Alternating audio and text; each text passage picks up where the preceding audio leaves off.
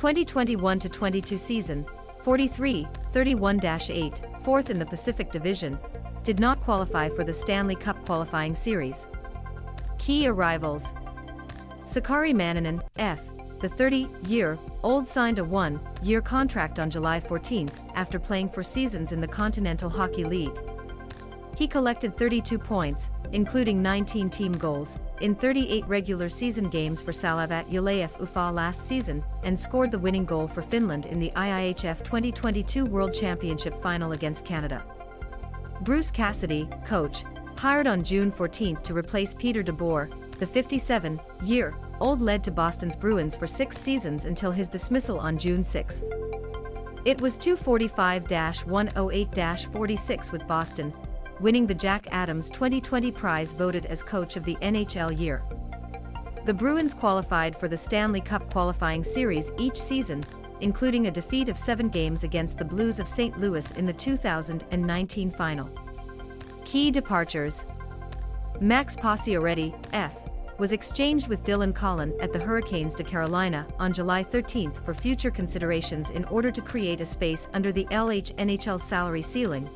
There remains a season remaining on a contract of $28 million over four years. Pacioretty was limited to 39 games due to a lower body injury and wrist surgery. He collected 37 points in 39 regular season games last season.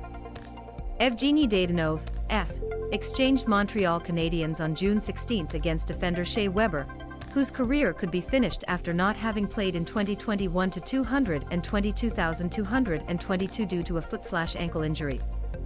Dadonov collected 43 points in 78 games last season.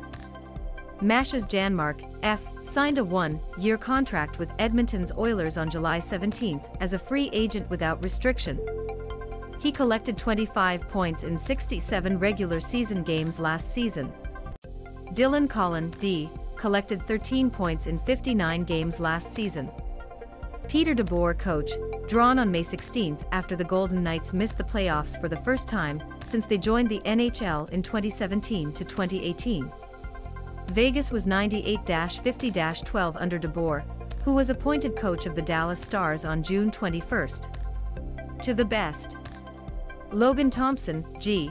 The 25-year-old was 10-5-3 with an average of goals at 2.68 goals, a percentage of stops of 0.914, and a laundering in 19 games, and 13-9-4 with a GAA from 2.77, 0.920 with the exception of percentage and 2 whitening for Henderson of the American Hockey League last season.